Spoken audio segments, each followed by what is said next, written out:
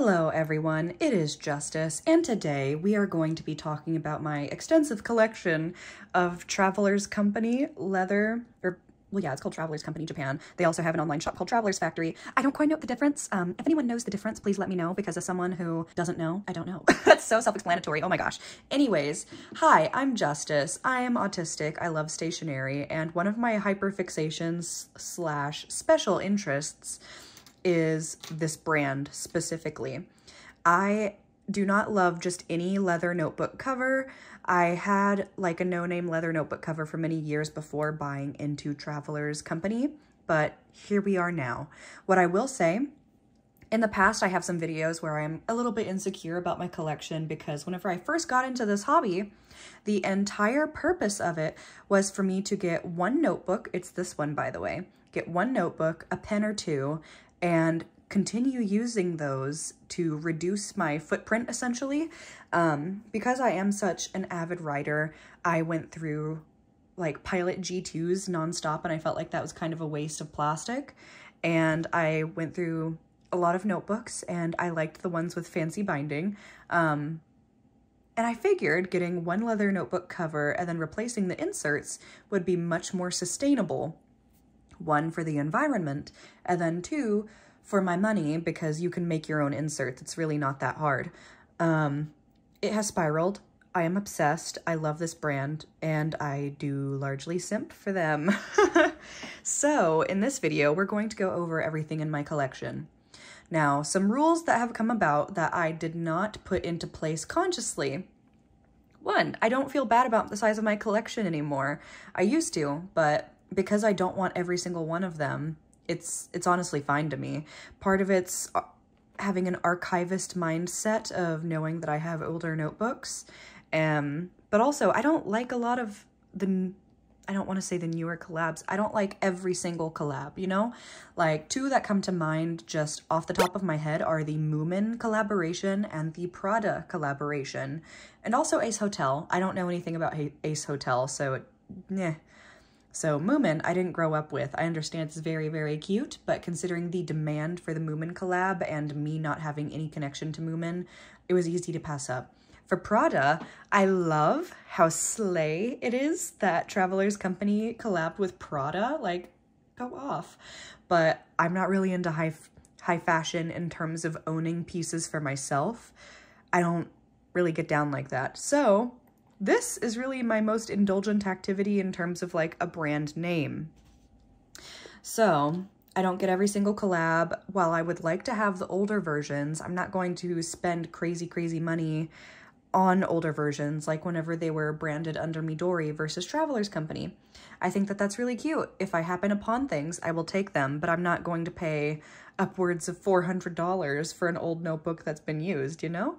It kind of reminds me of like the real resale market in clothing where it's like, ooh, I have these designer socks and they're kind of yellow and dingy, but they're designer. And so I'm to sell them for $50. And it's just like, why? Why would you do that? There's no point in that.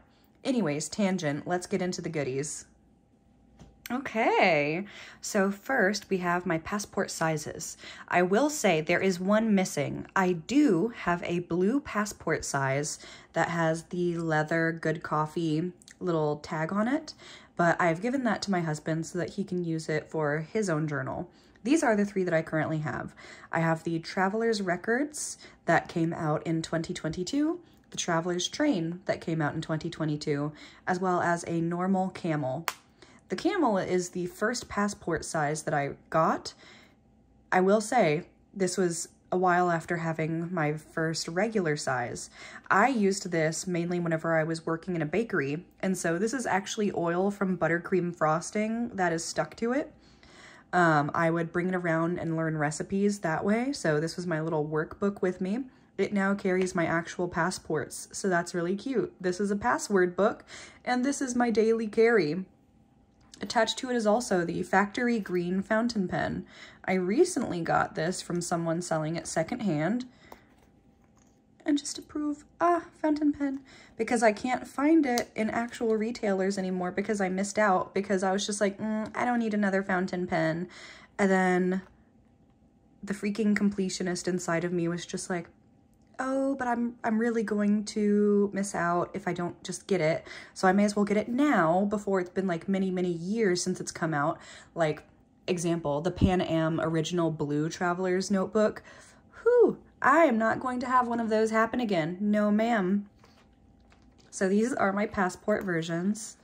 Um, I also have like a little record charm here attached to the traveler's train. You would think that I would put it on traveler's records, but I figured the black went quite well with the black. And this actually came from the Paper Seahorse. I went to their Traveler's Diner meetup in Tampa and their owner is super duper nice. So just wanted to note that.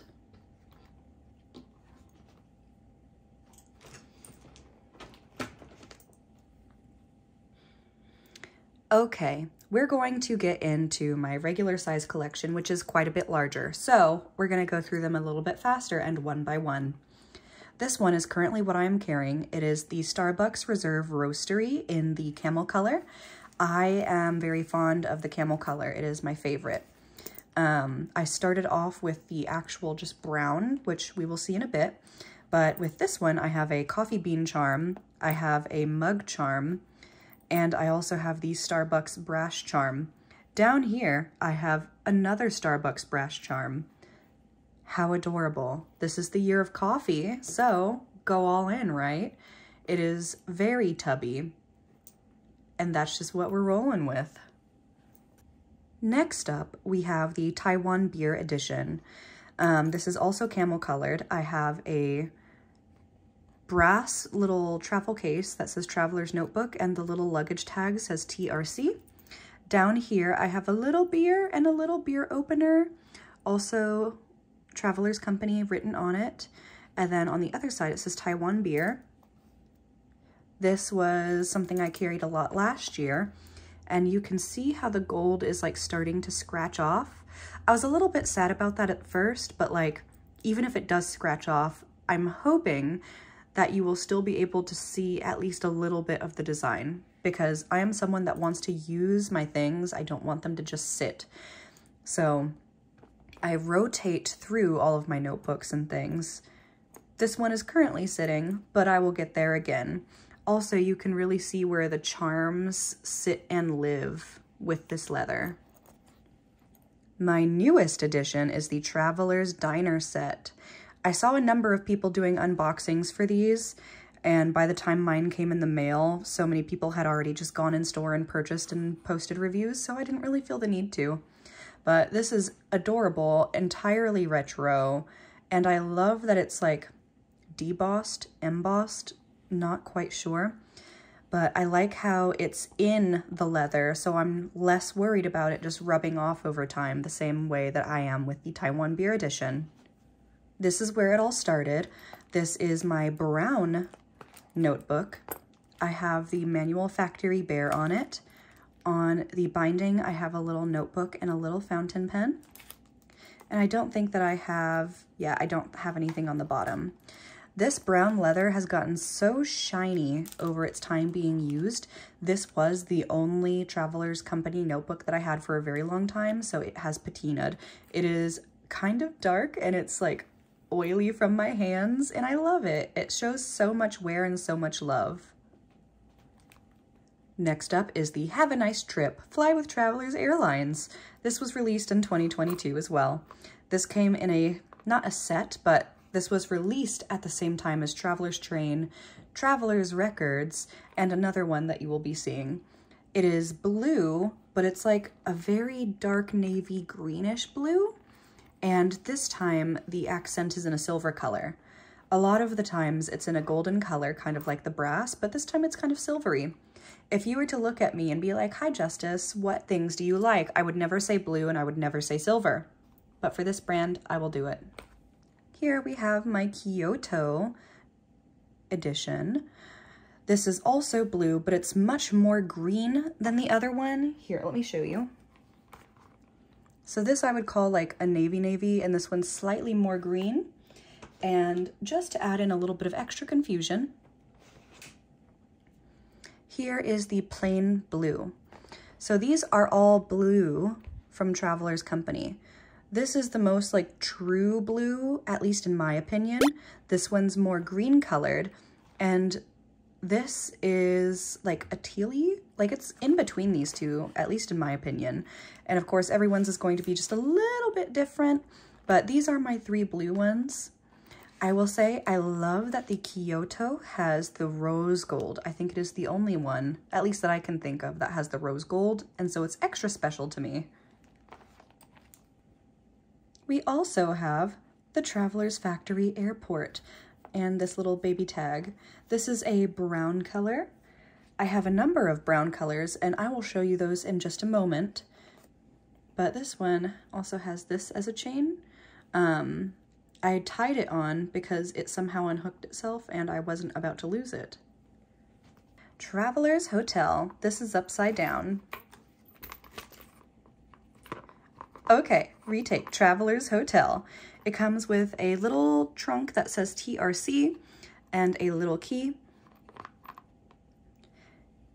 Right there. This also has rose gold, so I literally just like lied when I said, oh, I think the Kyoto version is the only one that has the rose gold. I, li I, I literally have another one with rose gold, so just ignore me, girl. Oh my god.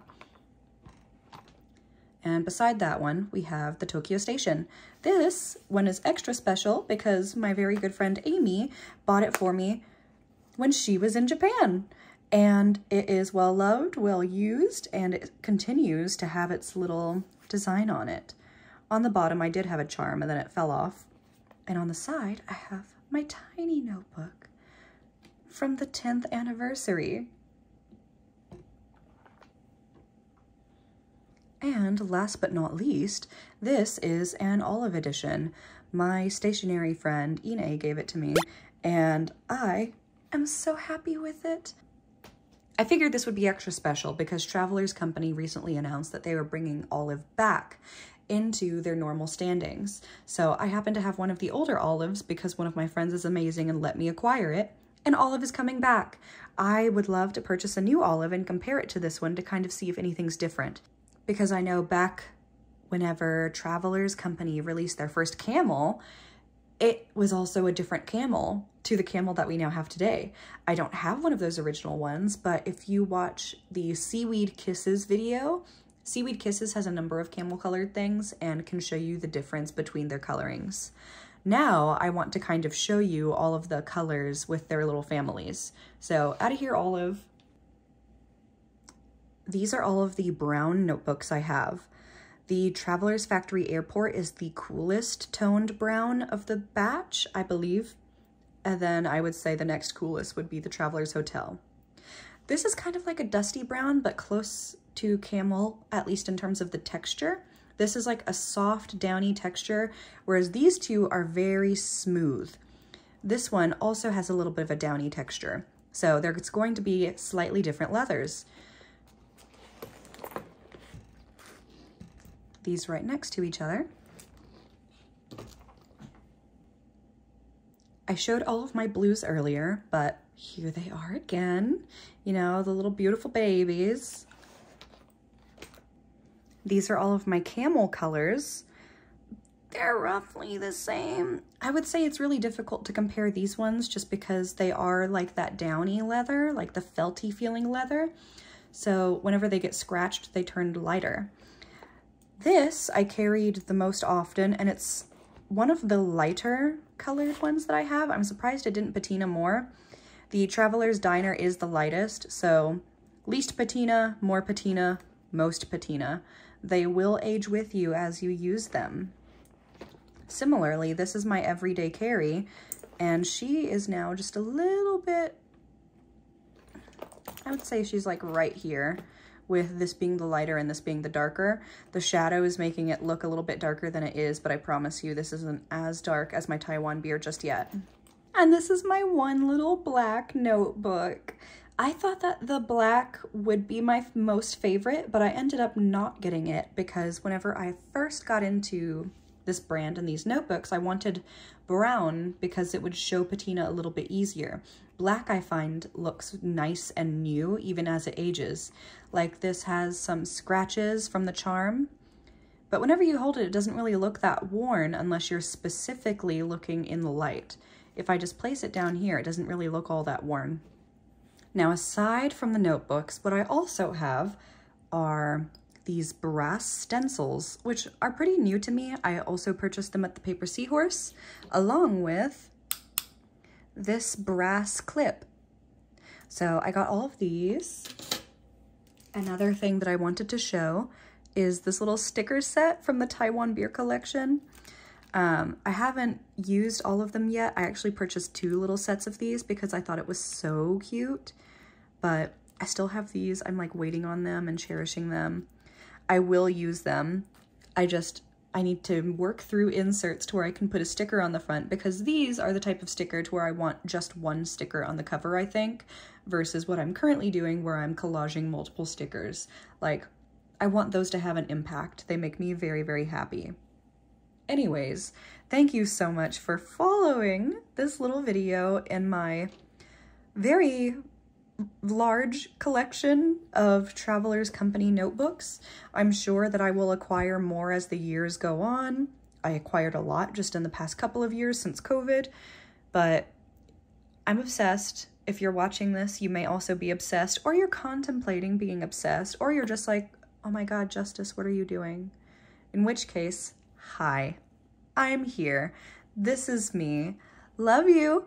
Don't forget to like and subscribe and leave me a comment. Do you have any funny collections? Do you have any of these?